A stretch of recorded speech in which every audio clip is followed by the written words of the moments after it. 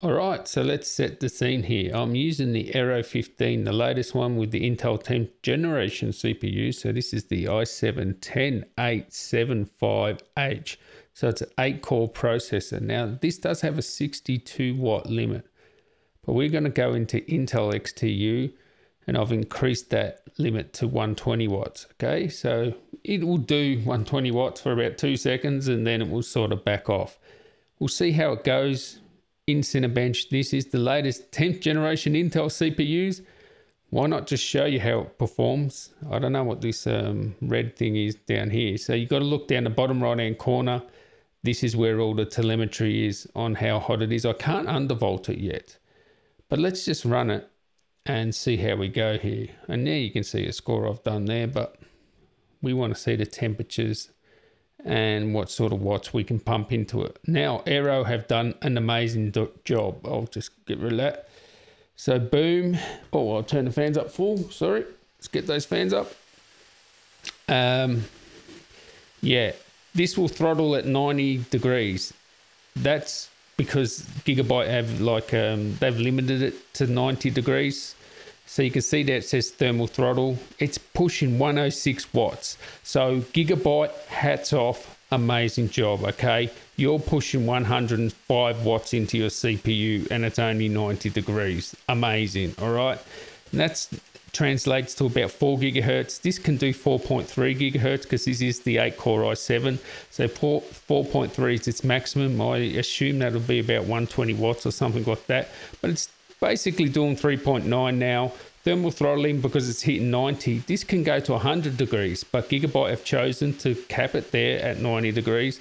But we're still pushing over 100 watts. So Gigabyte can't do any more.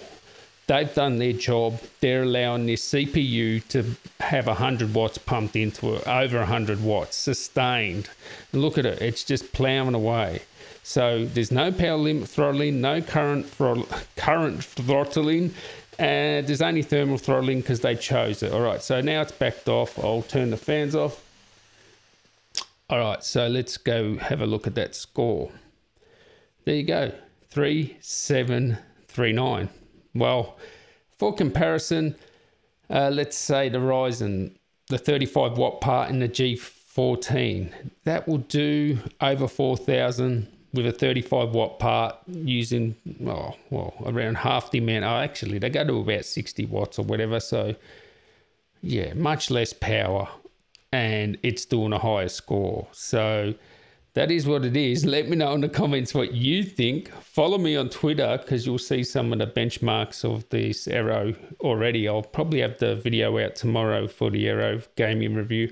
I will do content creation with that Aero as well. They've done an amazing job, Gigabyte. Okay, so they've done their job. Intel, all right, you're behind AMD here. That's no surprise here. Um, yeah, that is what it is. What can I say there?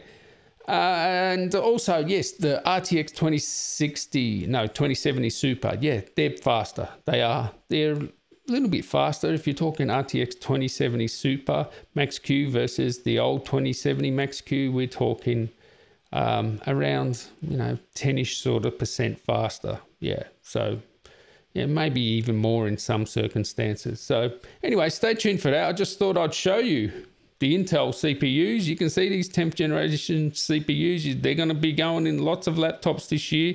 XPS 15, XPS 17, the new MacBook Pros. Uh, of course, the Aero and just oh, pretty much every laptop. Well, you saw what the part does. Let me know in the comments what you think. Follow me on Twitter and sub up, sub up, boys, because yeah, we've got some stuff coming. But um, yeah, I'm not that excited about the CPU to be honest. And yes, my solid state drive has turned to a floppy.